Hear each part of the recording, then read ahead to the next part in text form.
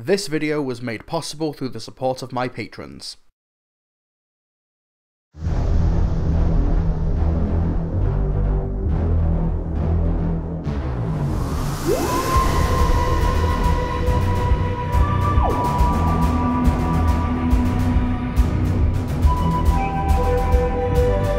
It's the end of an era. It's been almost five years since Jodie Whittaker was handed the TARDIS keys from Peter Capaldi and Chris Chibnall took over as showrunner, an era mired in reactionary controversy, compromised productions and upendings of the status quo. So it's oddly fitting that The Power of the Doctor, a feature-length special broadcast to also celebrate the BBC centenary, seems to have predominantly opted to sidestep all of that. Storylines built up for literal years like The Timeless Child, The Fugitive Doctor and more are just ignored in order to deliver a pretty self-contained finale that sees the 13th Doctor and companion Yaz face off against the unholy trinity of Doctor Who foes, the Master, the Daleks and the Cybermen, but they're not alone, with classic companions, doctors, and old guard establishments like UNIT there to face the danger. Honestly, the best comparison I can think of would be like if you were watching the 5th Doctor's tenure, then all of a sudden the 5 Doctors happened and Peter Davison regenerated at the end of it.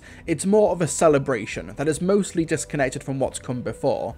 But does it work? Is it still a fitting tribute to the 13th Doctor? Well, let me back up. The story starts with the 13th Doctor and companions Yaz and Dan attempting to rescue a speeding bullet train. In space that's being attacked by the Cybermasters, last seen in The Timeless Children. They save the crew, but the Cybermasters acquire the cargo, and Dan has a near-death experience that causes him to call it quits on time and space. The Doctor and Yaz are then left to pursue the trail on their own, which leads to a second moon that has appeared above Earth in 1916 under the control of the Cybermen. The Master has also infiltrated the Tsar of Russia, disguised as Grigory Rasputin, and has defaced 15 world-famous paintings, which gets the attention of UNIT and former companion Ace, played by Sophie Aldred, returning on screen after 33 years. But the Master's not done. He's also kidnapped 13 of the world's best seismologists, as he's working with the Daleks to disrupt Earth's tectonic plates,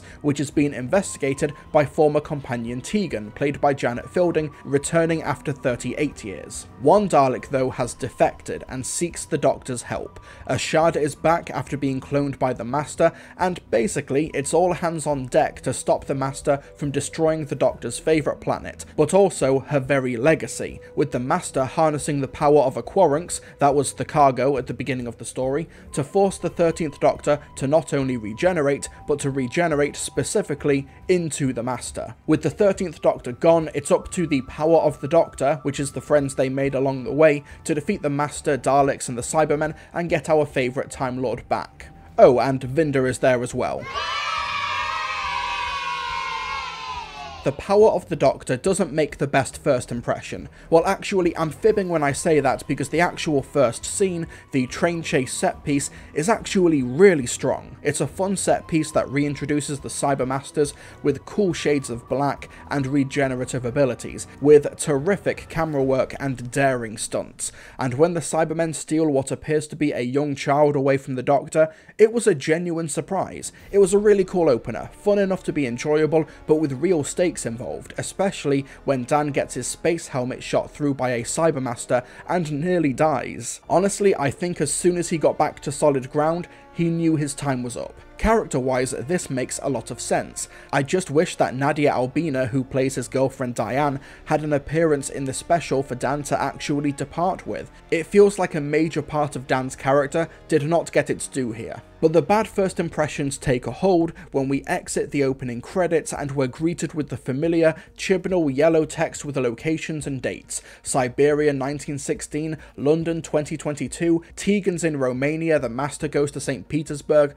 Honestly, it feels like a dartboard approach to adding scale and it comes across as Chibnall funnily enough, on autopilot. Now, he wasn't the first one to add extraneous locations that only exist to add scope, I think it was Steven Moffat who started that, but Chibnall seems to use it as a crux for story momentum. Then you throw in, wait a second, let me get the dartboard, okay, uh, 15 famous paintings and 13 seismologists in Naples.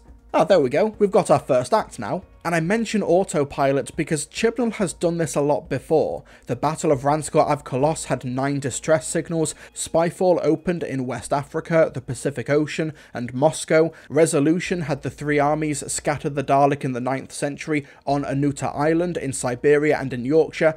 It all sounds impressive on paper, but I think the audience are almost tuned at this point to treat these locales as just throwaway and superfluous, rather than adding scale to the story, unlike something like Praxeus from Series 12, which was probably the best implementation of this trope of the era. But sorry, I'm getting sidetracked. So we have all of these elements, the Cybermasters guarding the Qurunx, the Dalek Defector, and the Master as Rasputin defacing the paintings and shrinking the seismologists, and part of me just wants to accept this as Sacha Dhawan's master just flexing. Like he wanted to bring in the Cybermen and the Daleks to make a symbolic point how he's got his own fam to counter the Doctors, and maybe he chose Rasputin because, I don't know, he had that costume ready to go and he had to work with it.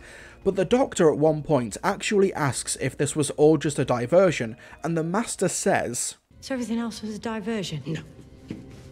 No. Not a diversion. Very important three-phase plan. You'll see.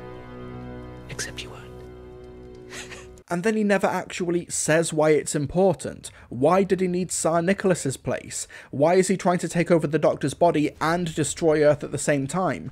Surely he's spreading himself too thin, and considering that we've got the Daleks and Tegan in this story, I was hoping the Master would learn from the Daleks' inability to multitask from Resurrection of the Daleks, but it was not to be, it seems. Oddly enough though, some of this overplotting does feel justified to an extent, yeah, it does absolutely make sense that the Master has authority over the Cybermen, especially if he still has the Cyberium in him, though that's confirmed in a throwaway line and is never factored into the special again. I ingested the Cyberium, the battle AI of the Cybermen. I'm so many steps ahead. I can see it all.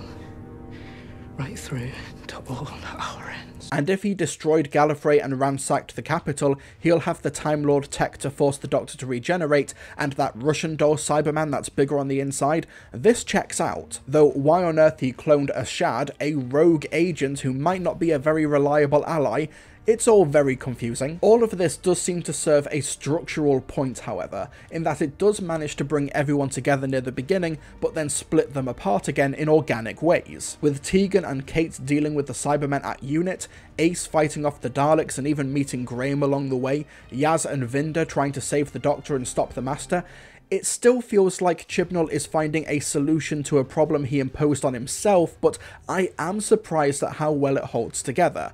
And just like with the Vanquishers, splitting the Doctor up into three so she can have agency over the subplots, we get the Hollow Doctor, which is an inspired choice for this type of story, because it allows her to be involved, even though she's not properly present, and we get the callbacks to companion appropriate doctors, but more on that later. Though my compliment on the Doctor having agency here is contradicted when you've got her being locked up in the Dalek casing. And what we essentially have for like the fifth or sixth time in this era of the show, the Doctor just imprisoned and stuck in place as she is exposited to. I know that the Doctor being kidnapped is not exclusive to this incarnation, but it does feel like Jodie Whittaker, the first female Doctor, is an incarnation who spends a disproportionate amount of time in captivity and being lectured to. I don't know, the gendered optics of her always being kidnapped it doesn't look great. Anyway, going back to the Daleks and the Cybermen, I'm in two minds about it, because they obviously play second fiddle here, but they still have some really interesting texture thrown into their mythology.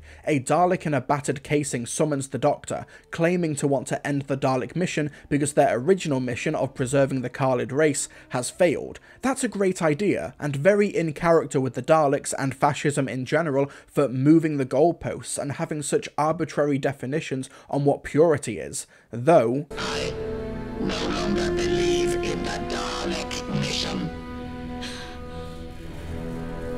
Well, that's a new one. Doctor, you literally met a Dalek defector during your last incarnation. You actually met him on your final day. But yeah, while it's cool to see the Daleks go back to their Terry Nation mining days, and it's a cool image to see the Doctor forced inside of an empty Dalek casing, the Daleks are the weakest villain element of the story. The Cybermen, on the other hand, they not only get the opening set piece, but we get the awesome looking Cyber Masters with exquisitely detailed armor and regeneration abilities, but even the Cyber Warriors themselves feel like a legit threat when they invade Unit, and the callback to Gold, that was a nice touch. Gold bullets, Tinette! You think unit wouldn't be ready?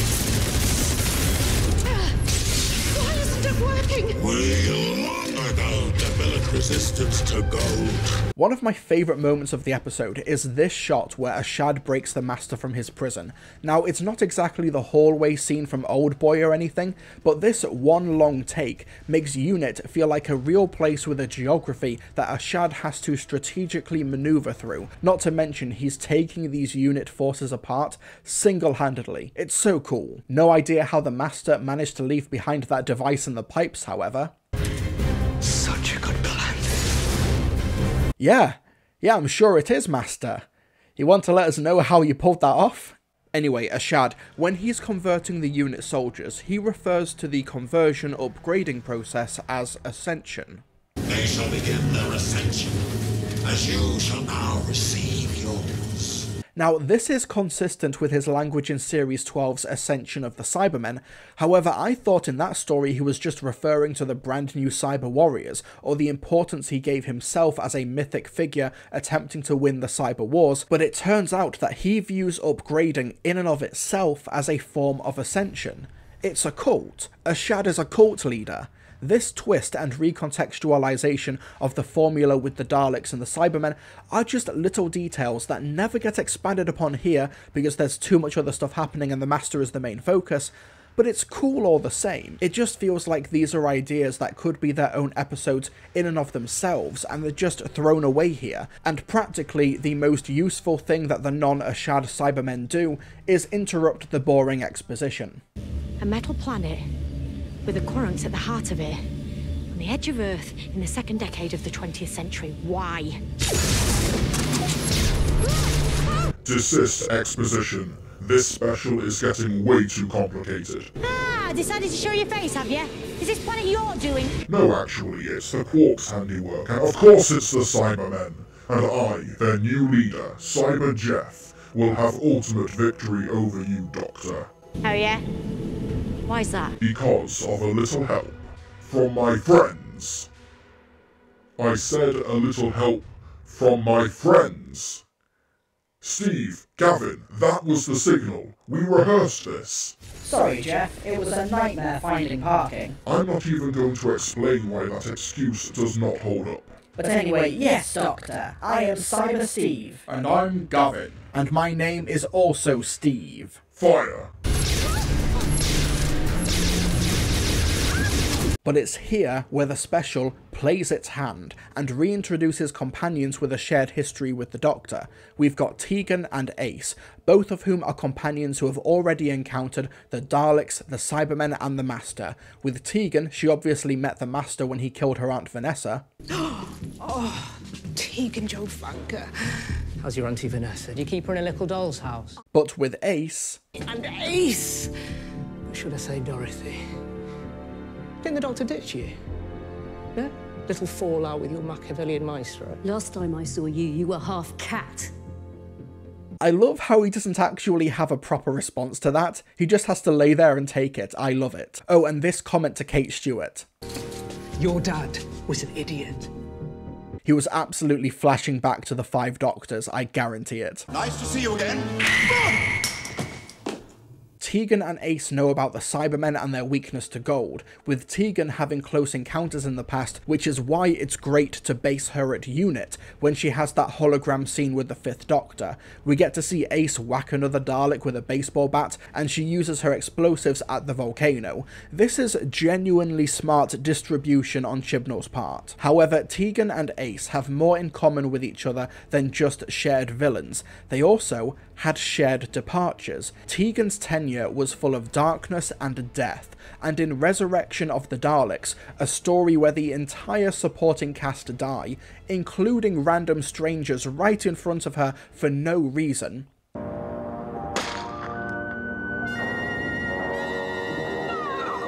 she decided then it was time to leave. It stopped being fun, and she says goodbye to the Fifth Doctor and Turlough in a corpse ridden warehouse. Ace, on the other hand, did not get an actual on screen departure. However, the book At Childhood's End, written by Sophie Aldred, does depict their final adventure, where the Seventh Doctor, the manipulative schemer, pushes her too far and causes her to accidentally kill a group of aliens in self defense, and they parted ways. Obviously, the power of the Doctor does not directly specify what happened on screen, but either way, they parted on bad terms. So when it comes to Ace, Tegan, and now the 13th Doctor and Yaz, they're getting endings to their stories that they don't like. I'm aware that I'm jumping to the end of the special now, but when the Doctor gets blasted by that laser, falls unconscious, and then wakes up in the TARDIS later with Yaz, she says what I think is the most important line of the story. That's not right.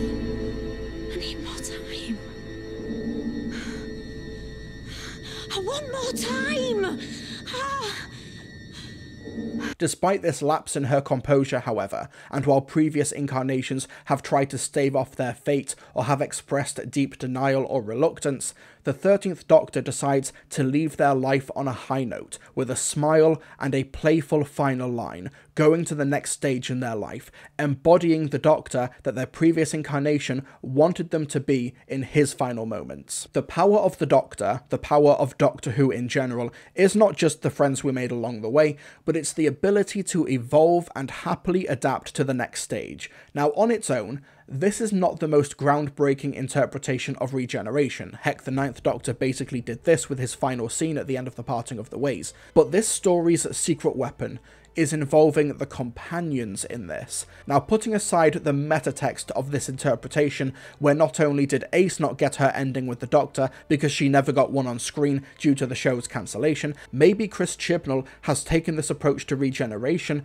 to reflect his own frustration at not being able to conclude his run the way he wanted to. We obviously don't know for sure right now, and like I said, this is just my interpretation, but with the massive changes and adjustments for Series 13 behind the scenes due to COVID and lockdowns, which almost made Chris Chibnall quit the job entirely, maybe the unfinished business with the Doctor's past, division, her origins, or even small story details like Ashad's revival or Dan's departure, maybe this was all meant to be depicted another way.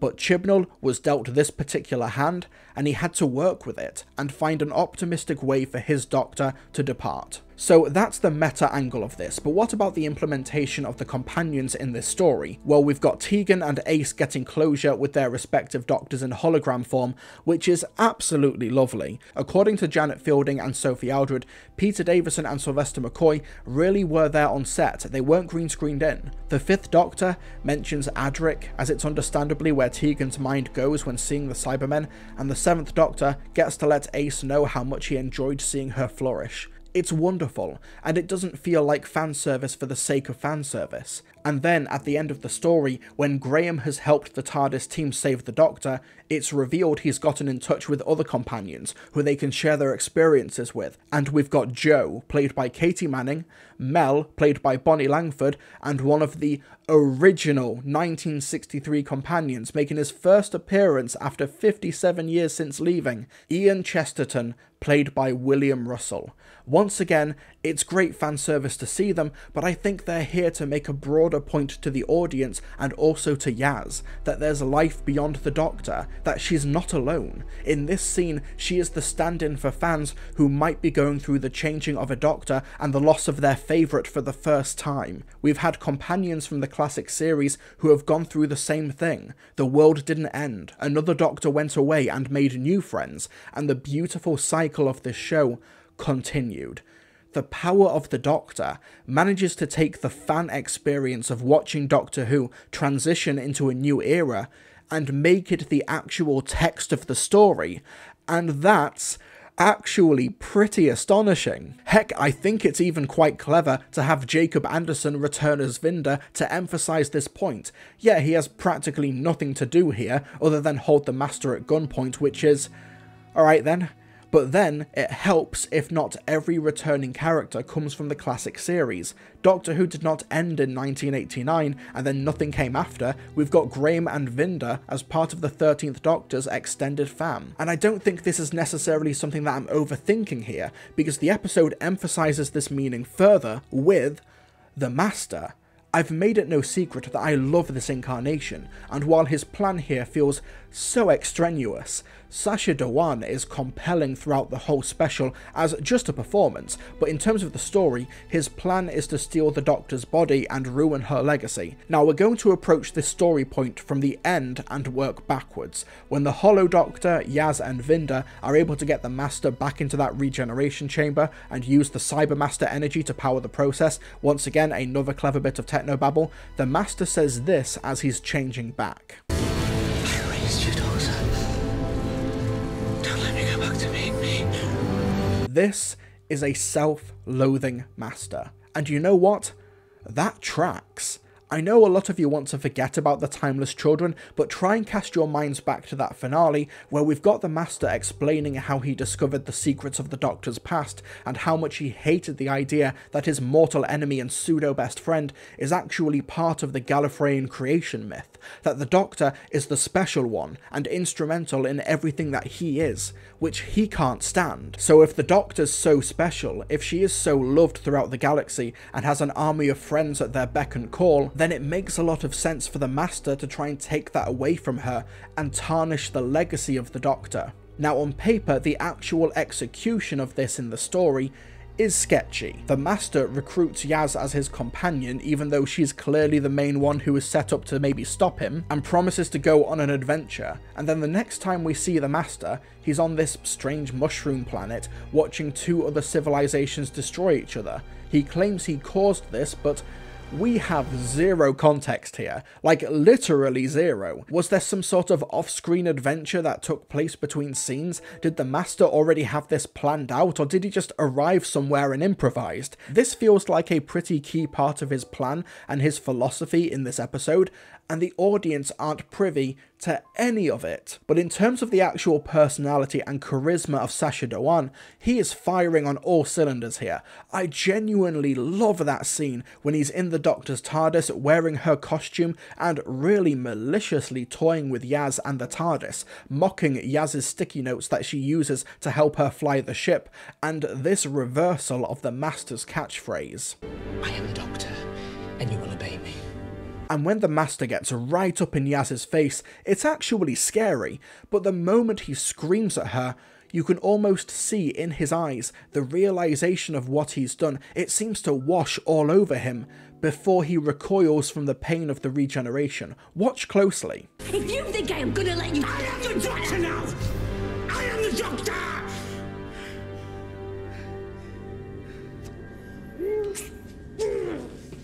It's almost like he can't quite believe that this has happened, that there's a universe without the Doctor, and her shoes are now his to fill. A tinge of regret, and he doesn't seem wholly self assured. It makes sense that the next thing he'd do is start wearing a Frankenstein amalgamation of the Doctor's old costumes. And don't forget, the Master even refers to his alliance with the Daleks and the Cybermen as his own fam, the Doctor's adversaries being the counter to her companions. It's on the nose, but I can dig it, and in the end, when the Doctor gets her body back and puts everything right, the Master is dying on the cyber planet alone and in the dirt.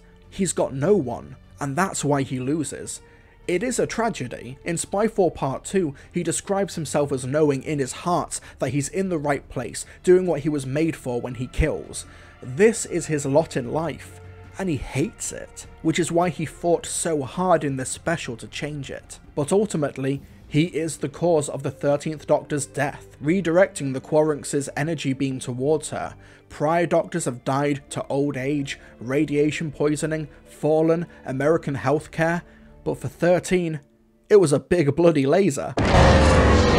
Now, I've talked about all of the big story stuff that I wanted to, so let's go over some random observations I had, both good and bad in no particular order. Literally, I've just written a list. The Qurunx takes the form of something that the onlooker wants to protect. Since we first see it in the story through the perspective of the Doctor, it takes the form of a young black child, possibly a callback to the Timeless Children, but a cool bit of visual storytelling as to what the Doctor would want to try and save the most. Kate Stewart makes a big deal in this episode about saving the unit soldiers from the Cybermen, but we only see her and Tegan escape the exploding building. I guess all those other soldiers can just die. I really like the scene where Tegan is trying to sneak through the elevator shaft, only for her to stumble and Ashad hears her. Patrick O'Kane really is terrific as Ashad. He's a really menacing villain. He deserved to be in stories that centered around him more. Renegade human and the wolves. Oh yeah! Though I do call BS on Tegan somehow surviving that fall without explanation. I know Janet Fielding on Twitter said that she bounces, but it does feel like a cop-out to keep the story moving. You refuse to pass through. Quite the strength of character, this incarnation. Hmm? Oh yeah, there's a scene with a bunch of classic doctors. I'd say this is the closest to the special comes to just outright fan service for the sake of it, but that's not inherently a bad thing, especially when it's applied in such an interesting way, where we're in the Doctor's subconscious, where there's a cliff edge guarded by past incarnations. It's symbolic, obviously. Consciousness will do that. I love that line. But yeah, David Bradley greets her as the first Doctor, then we've got all of the other surviving classic Doctor actors apart from Tom Baker, and they actually have banter with each other. It's terrific. And Paul McGann. Guardians of the Air. Sorry, why are you not wearing? I don't do robes. There's always one. Has to be different. I am a manifestation of our consciousness. I can wear what I like. Can we just focus on this, whatever this is? Do you want to know what fan service did annoy me, however? Jo Martin scene, because it's just a walk on role, As in, she literally just walks on, the Cybermen shoot through her, and then she stands there while Yaz brings back the Doctor, and then she vanishes again.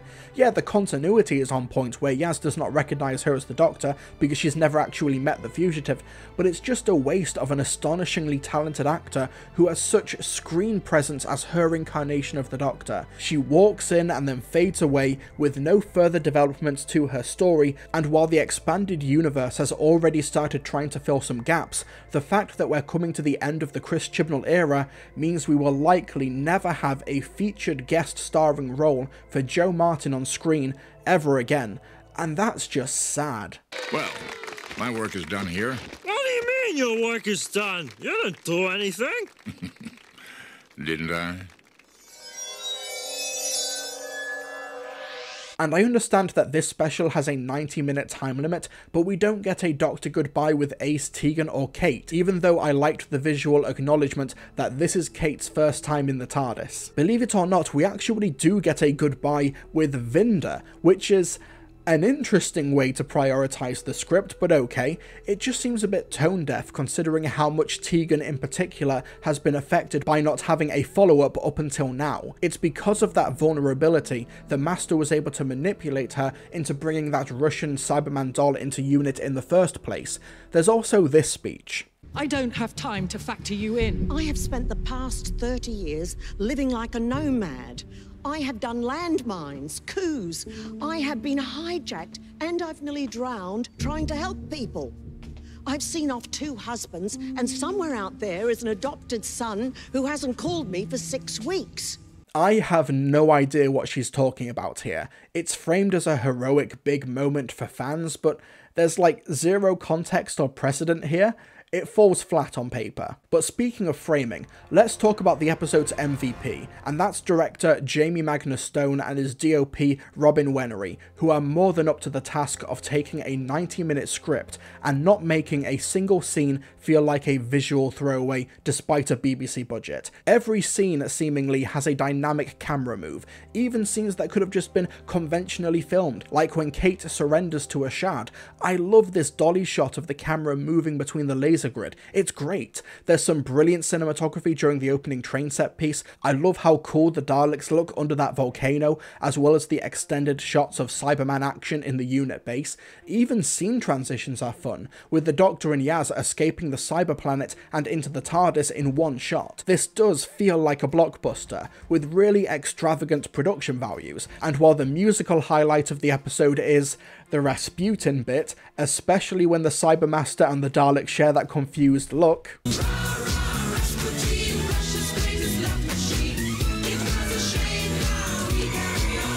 That is genuinely hysterically funny. Segun Akinola really brought it for his final score of the series. I love how big and grandiose he goes with the train scene, the climactic showdown between the Doctor and the Master. It's a terrific score, which also repurposes the Master and the Cybermen's themes to great effect. I also think this is probably Mandip Gill's best performance as Yaz, and Yaz's best outing as a companion, because when you think about it, once Dan departs after the opening credits, she's the only companion formerly of the Doctor. It's the first time where she hasn't had to constantly share screen time with another member of a fam, and it works in her favour, though there is some clunky dialogue that probably should have been cut. Do you even know how to use that, love? Don't you worry. I've had weapons training. The doctor's in danger. There must be Dalek teleport trace that we can follow. That you can lock onto.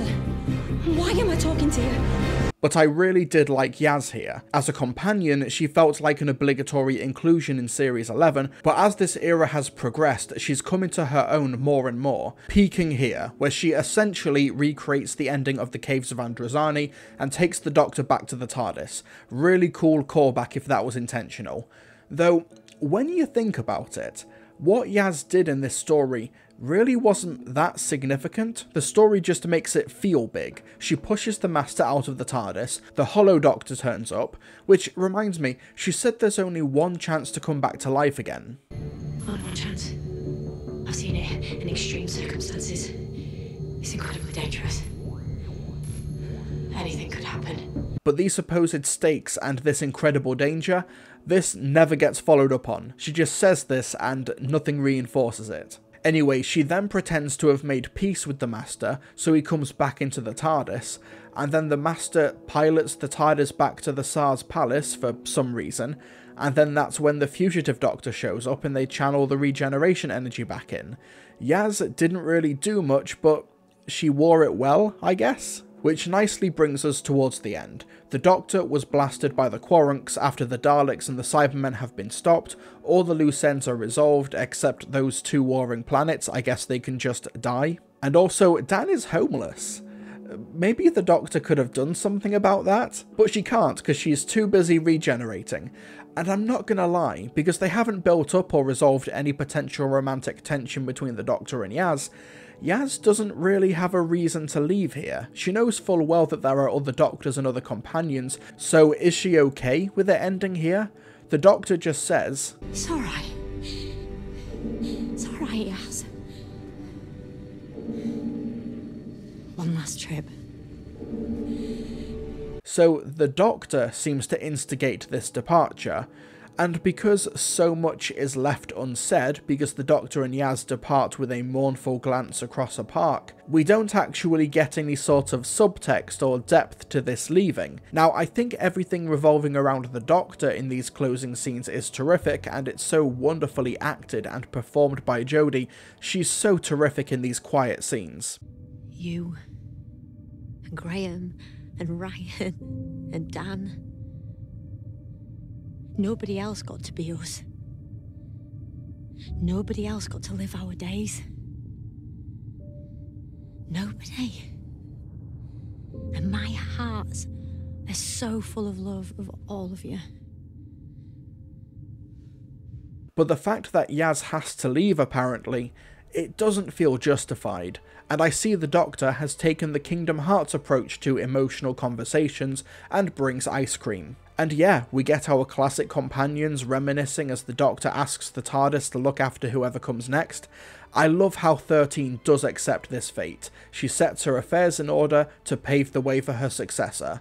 Her final scene takes place on the Durdle Door Arch, possibly by an incredible coincidence, a location that's just a stone's throw away from season 26's The Curse of Fenric, where Ace jumped into the water for a rebirth metaphor and to renew her faith in the Doctor, just like she did in this story. Coincidence? I think not!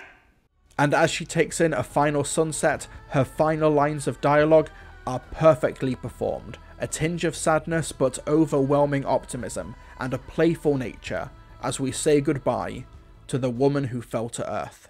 That's the only sad thing. I want to know what happens next. Right then. Doctor whoever I'm about to be. Tag. You're it. And she regenerates into her 10th incarnation, or at least the same actor, who goes to say something and recognizes the teeth.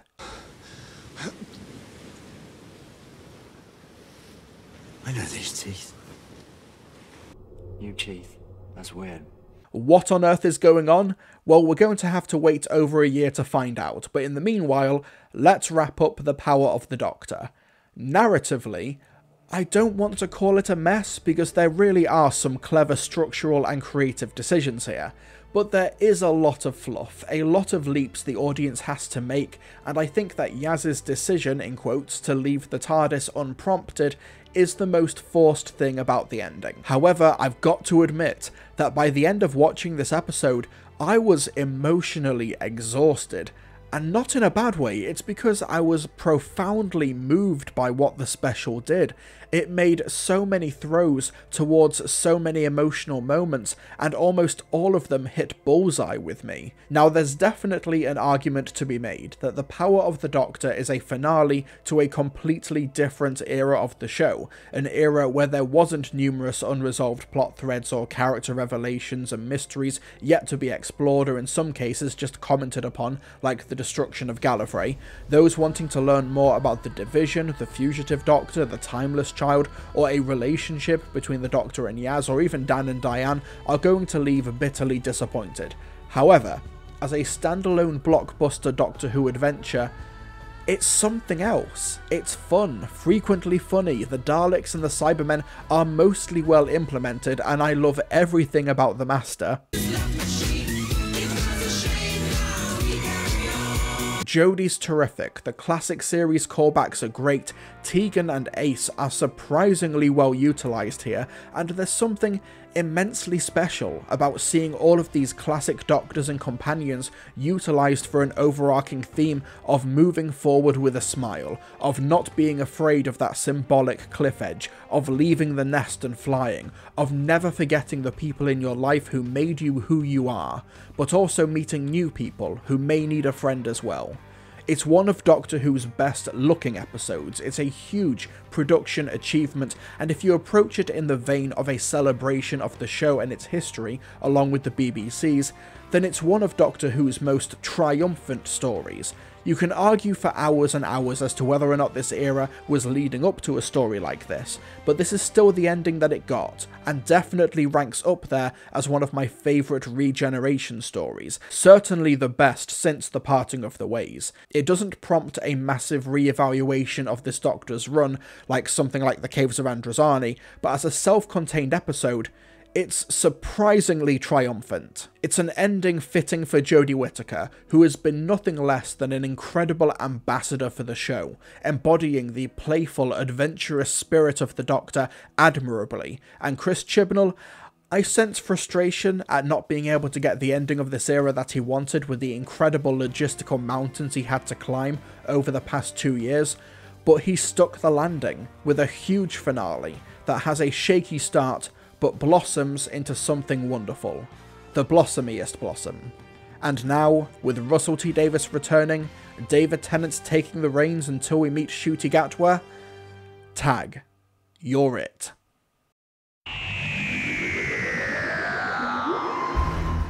Hey folks, thanks for watching this review of The Power of the Doctor. It's the end of an era, and I also am very tired. You can probably tell just by looking at my eyes. It's because I've been trying very hard to get this review out before I go to MCM Comic Con. But enough about me, I want to know what you folks thought of The Power of the Doctor and this review. Let me know in the comment section below. Also be sure to like the video because it really, really helps me out, and subscribe to the channel for upcoming Doctor Who reviews. Also, I'm sure you've noticed all these incredibly handsome names that are scrolling down the screen right now now. Those are my patrons. They help to keep the lights on here, they got this review a few days early, and they're also getting instant early access to my upcoming Hartnell Marathon, which starts in December. At time of making this review, the first five reviews of the Hartnell Marathon are ready to view for patrons. I'd also like to give a shout out to these particular patrons.